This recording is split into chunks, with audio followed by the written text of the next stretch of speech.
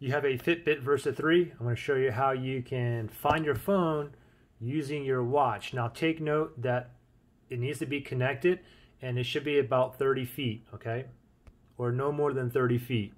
So first thing is just go to your clock face.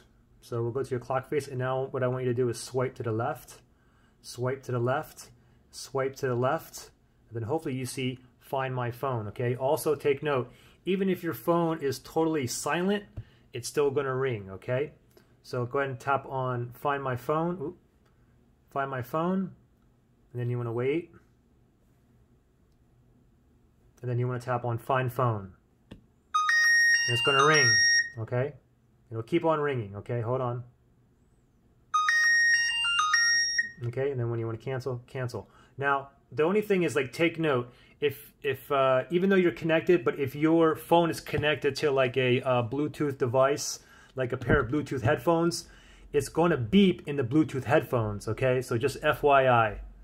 Any questions, issues? Comment below. Good luck.